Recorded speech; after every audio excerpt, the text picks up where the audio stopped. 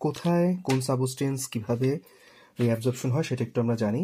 P মানে হচ্ছে proximal convoluted tubule D মানে এল মানে হচ্ছে লুপ অফ এনলি ডি মানে হচ্ছে ডিস্টাল কনভলিউটেড টিউবিউল এবং হচ্ছে সি এর অর্থ হচ্ছে এখানে আমাদের দাঁড়াচ্ছে কালেক্টিং ডাট আচ্ছা তো এখন আমরা জানব যে প্রক্সিমাল কনভলিউটেড টিউবিউলের মধ্যে সমস্ত গ্লুকোজ হচ্ছে কি অ্যাবজর্ব হয় রিঅ্যাবজর্পশন হয়।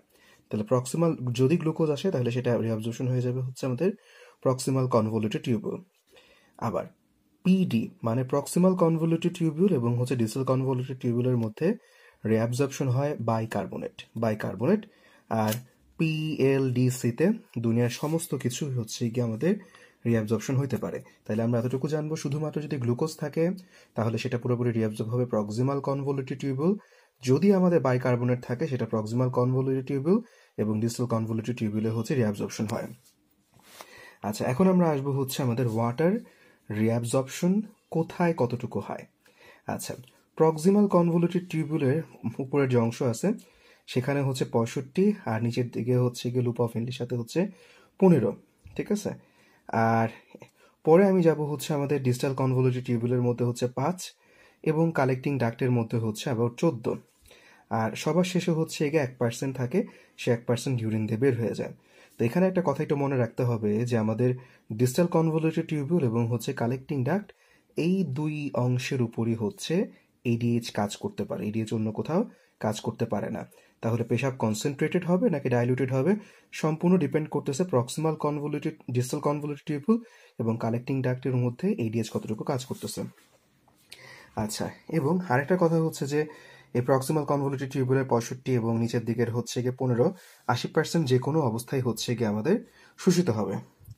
আর ডিজিটাল কনভলিউটেড টিউবুলের মধ্যে তো উনিশ পার্সেন্ট শোষিত হইল, বাকি যে এক পার্সেন্ট আছে সেটা হচ্ছে গিয়ে আমাদের পেশাব হিসেবে বের হবে।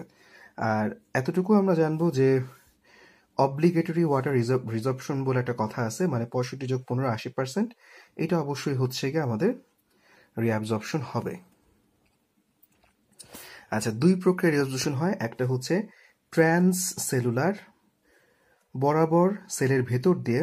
আরেকটা হচ্ছে প্যারাসেলুলার মানে হচ্ছে দুই সেলের মাঝখান দিয়ে। ট্রান্সসেলুলার মানে বরাবর সেলের মধ্যে দিয়ে রিঅ্যাবজর্পশন হতে পারে এবং হচ্ছে প্যারাসেলুলার মানে দুই সেলের মাঝখান দিয়ে রিঅ্যাবজর্পশন হতে পারে।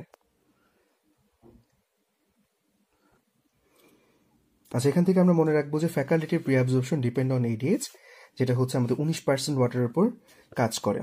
আচ্ছা দুটো আমি কথা মনে রাখি কনসেন্ট্রেটেড এবং dilute urine totally depend on ADH R ADH secretion totally depend করে হচ্ছে ব্লাড অসমোলারিটি তাহলে কনসেন্ট্রেটেড বা ডাইলেটেড ইউরিন নির্ভর করে এডিএইচ এর উপরে, আর ব্লাড অসমোলারিটির উপর নির্ভর করে হচ্ছে কি আমাদের এডিএইচ সিক্রেশন আচ্ছা রক্তে পানি যত কমে যাবে, যত ঘন হবে, তত অসমোলারিটি বাড়বে, এবং শরীর সেই পানি ধরে রাখতে সবচেয়ে বেশি এইডিএইচ সিক্রেশন করবে। তার মানে রক্ত যত বেশি ঘন হবে, তত তার অসমোলারিটি বাড়বে এবং শরীর সেটা ধরে রাখতে সাহায্য করবে।